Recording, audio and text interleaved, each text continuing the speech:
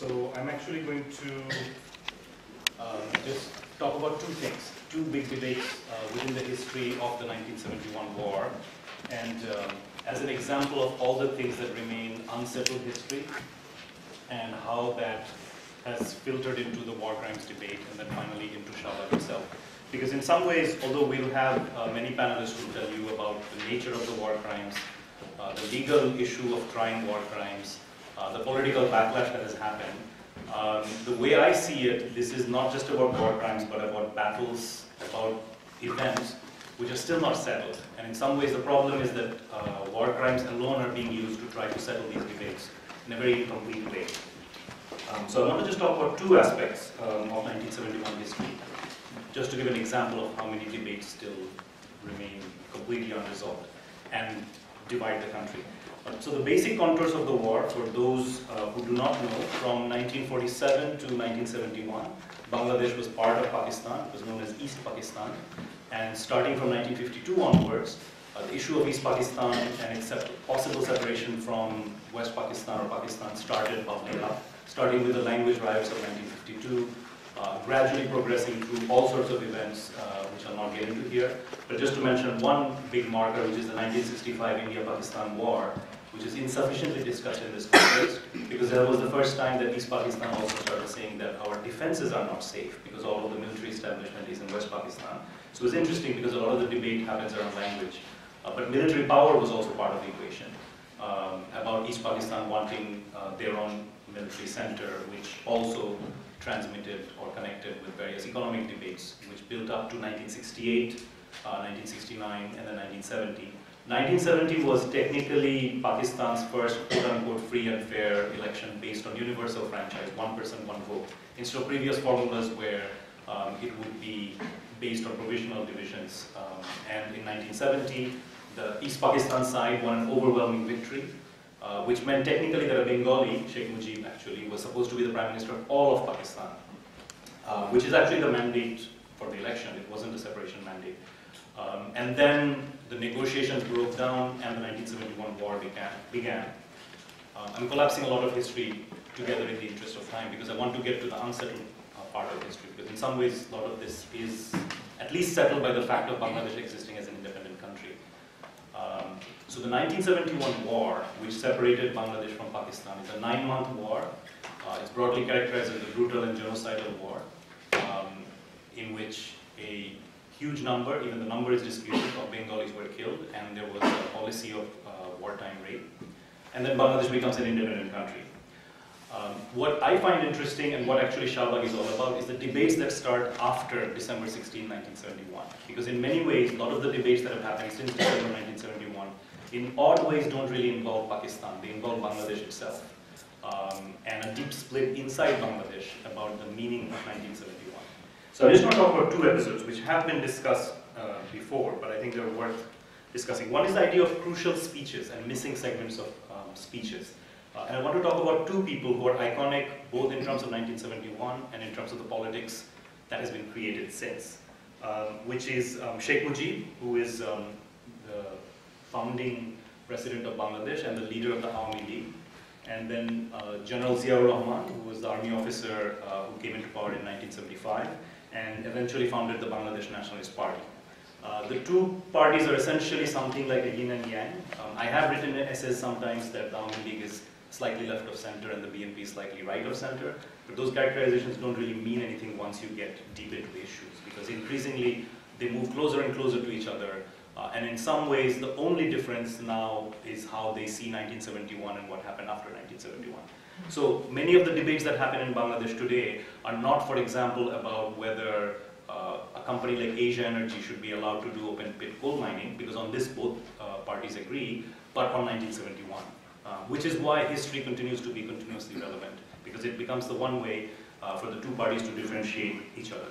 And one of the big controversies of 1971, we actually saw a fragment of it in Muktir Gaan, is who gave the speech uh, and what did they say that declared Bangladesh as an independent nation.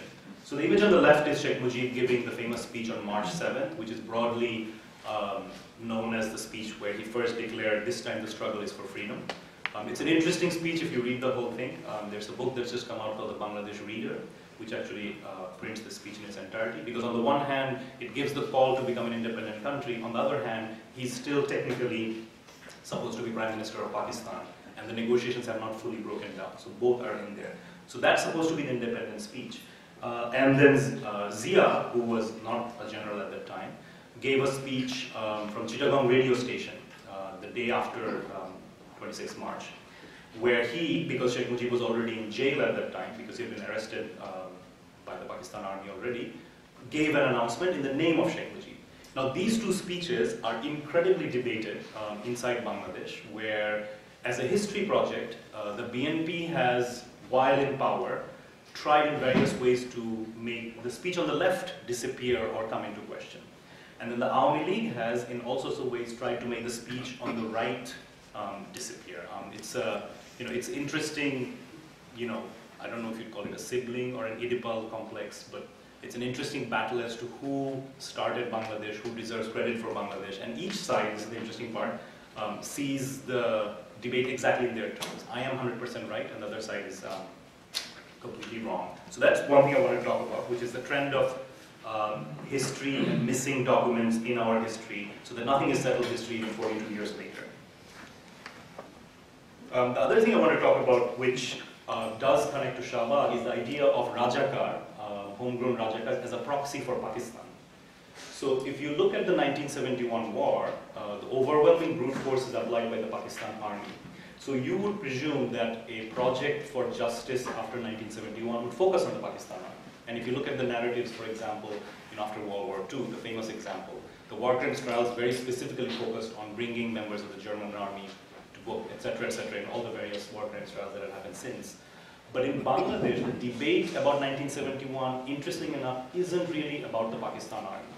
Um, although it does come up, although obviously Pakistan comes up and Pakistan is the other that is to be measured against, most of the debate inside Bangladesh happens about Rajakars, which are basically Bengali or Urdu speaking uh, members, citizens of East Pakistan, who were part of the collaborating forces with the Pakistan army during the war.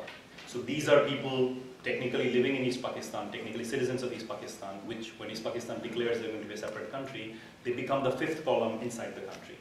Uh, they become basically the people who form uh, the local death squads that assist the Pakistan army.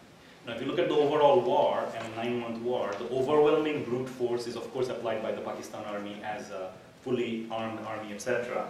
Uh, but in the Bangladesh context, uh, the focus has been entirely on the local collaborators. Uh, and I just want to show very quickly uh, a screenshot from two films. This is a film made in 1972, Ura Egarojon, they are 11. So you have the fearsome Pakistan soldier, but then most importantly, you have the homegrown uh, Bengali collaborator. These are the two members of a village peace committee who in the scene are discussing how they should um, help the Pakistan army. And they're Bengali or they're Urdu speaking or from their clothing, they're presumed to be more Islamic minded, etc. So these are all sort of broad stereotypes. And then 40 years later, another film called Meherjan, uh, which shows the same iconography. Um, again, a village elder, in this case Victor Banerjee, um, approached by a local Rajakar saying, you know, we should form a peace squad. And then the dialogue is very similar. What's the point of clashing with our Pakistani Muslim brothers?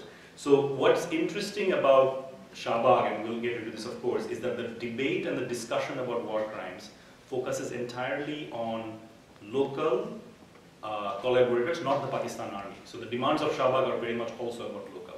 And the other aspect of it, which I'm sure the other panelists will also talk about, is that when you talk about local collaborators, but you also talk about people who you may not have brought to trial for 42 years.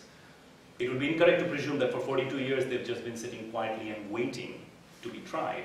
Obviously, in those 42 years, those forces or those individuals, usually forces, have also gathered strength and rebuilt themselves and also created an alternative narrative of what happened in 1971. And presumably, uh, presuming that one day this day would come, they've also gathered energy to try to fight back against war crimes. So that's a singular thing to understand also, that Shahbag is coming in the context of war crimes trials that are bringing people to trial that are also able to fight back pretty systematically, in some ways with more, I would say, I don't know, funding or firepower or global connections but in some ways more effectively than the government has been able to. And then obviously the other thing we mentioned is that Shahbag is happening in 2013 in the context of the politics since 2001, where the Muslim or the Muslim other or the Muslim within quotes or Islamist, all of these things are highly debated and disputed terms, and the world is much more interested in these things in a way they would not have been interested, let's say in 72, 73, 74. So all of these things are playing into the current war crimes trials, and I think um, in some ways, we'll get into this, you know, Shahbag in some ways is an internal battle inside Bangladesh, which ironically doesn't involve Pakistan, and it's a battle between two sides, if we can use the term broadly, and the two sides are much more equal in strength in some ways now than they were, let's say, in 1972. So that's one last thing to keep in mind.